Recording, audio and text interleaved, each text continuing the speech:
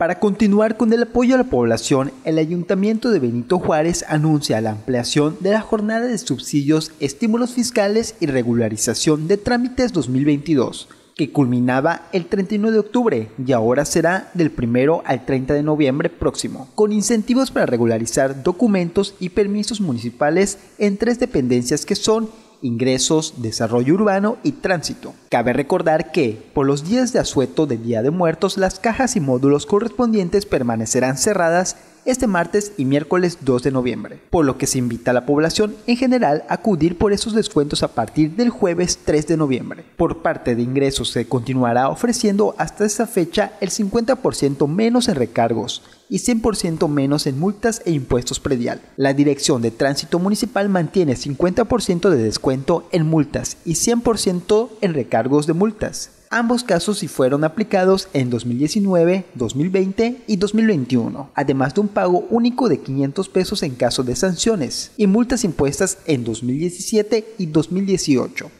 Además, la Dirección de Desarrollo Urbano sostiene dos incentivos del 100% en sanciones y multas por omisión o extemporaneidad en el registro y regularización de obra siempre y cuando sea habitacional a nombre de personas físicas, así como la misma cantidad en multas y recargos en anuncios adosados para negocios de bajo riesgo, excepto cadenas comerciales o con más de dos sucursales en ambos casos, siempre y cuando no tengan procedimientos administrativos como acta o visita de inspección. Informó para Notivisión Víctor Salazar.